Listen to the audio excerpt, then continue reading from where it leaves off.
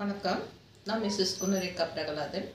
இன்னைக்கு நம்ம சென்னை வாசி சமையல் நிகழ்ச்சியில் இயற்கை மருத்துவ முறையில் எப்படி சுக்குமல்லி காஃபி தயார் பண்ணுறதுன்னு பார்த்துட்டு சுக்கு காஃபியும் போட்டு உங்களுக்கு காட்ட போகிறேன் வாங்க பார்க்கலாம். இதற்கு தேவையான பொருட்கள் தனியா சுக்கு மிளகு சோம்பு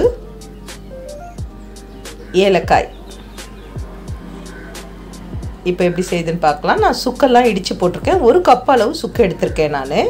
அந்த சுக்கெல்லாம் இடித்து நான் போட்டுட்ருக்கேன் இப்போது போட்டு அது சூடு பொறுக்கிற அளவுக்கு வறுத்துக்கு வேணும். அவ்வளோதான் நம்மளுக்கு பவுடர் ஆக்கிறதுக்காக வ- வறுக்கிறது தான் இது ஓகே இது நல்லா வறுத்துக்கிறோம். இதுவும் வறுத்துட்டு அந்த கீழெல்லாம் அந்த பவுடர் ஆனதெல்லாம் கொஞ்சம் பிடிக்கிறா போல் இருக்குது பாருங்கள் அதனால் ஓகே கொஞ்சம் வறுத்த உடனே எடுத்து கொட்ட ஆரம்பிச்சிட்டேன் நான். இப்போ அதை ஒரு பாத்திரத்தில் நான் கொட்டி வச்சுக்கிறேன் ஆற வைக்கிறதுக்கு.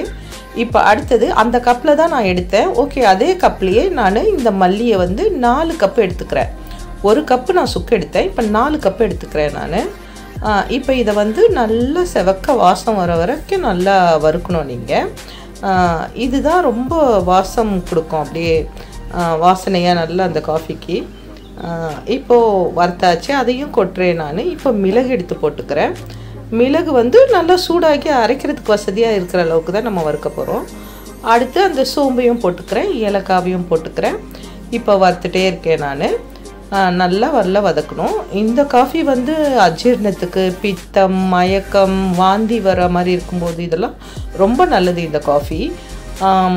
இப்போது ஆற வச்சிட்ருக்கேன் நான். இதை மிக்சியில் போட்டு இதை பவுடர் பண்ணணும். இப்போ பாருங்கள் பொடி நல்லா ரெடி ஆயிடுச்சு. இந்த பொடியை வந்து ரெண்டு தடவையாக போட்டு போட்டு நான் அரைக்கிறேன். கொஞ்சம் குவான்டிட்டி அதிகமாக நான் பண்ணியிருக்கிறதுனால ஸ்டோர் பண்ணி வச்சுப்பேன் நான் பண்ணி. ஸோ ரெண்டு தடவை அரைச்சிருக்கேன். இப்போ காஃபி போடுறதுக்கு ரெடி ஆகிறேன். பனவெல்லத்தை எடுத்து கொஞ்சம் திருகிக்கிறேன் நான். பனவெல்லம் திருகின பிறகு கொஞ்சம் உதிரியாகிடுச்சு பனவெல்லத்தில் போட்டால் இந்த காஃபி ரொம்ப உடம்புக்கும் நல்லது. டேஸ்ட்டும் ரொம்ப நல்லாயிருக்கும் இப்போ நான் நிறைய வச்சுருக்கேன். ஆனால் தேவையான அளவு நீங்கள் போட்டுக்கோங்க டேஸ்ட்டுக்கு ஏற்றா போல். இப்போது பாத்திரத்தை அடுப்பில் வச்சுட்டு ஒரு டம்ளர் தண்ணி ஊற்றுறேன் நான். இந்த தண்ணி ஊற்றின பிறகு இப்போது நம்ம அரைச்சி வச்சுருக்கோம் இல்லையா சுக்கு மல்லிப்பொடி அதை ஒரு ஸ்பூன் நான் ஒருத்தருக்கு தான் போடுறேன். ஸோ ஒரு ஸ்பூன் எடுத்து போட்டிருக்கேன் நான். இப்போ அது கொதிக்கிற வரை நம்ம வெயிட் பண்ணுவோம்.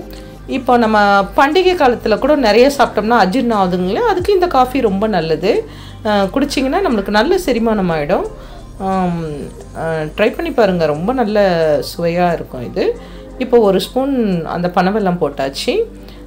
இப்போ வந்து கொஞ்சம் வெயிட் பண்ணோம்னா அது நல்லா கொதிக்க ஆரம்பிக்கும். கொதிக்கும் போதே நம்மளுக்கு விடெல்லாம் வாசனையாக இருக்கும். அவ்வளோ நல்லாயிருக்கும் இந்த காஃபி இது கரெக்டான குவான்டிட்டி இது சரியான செய்முறை இது.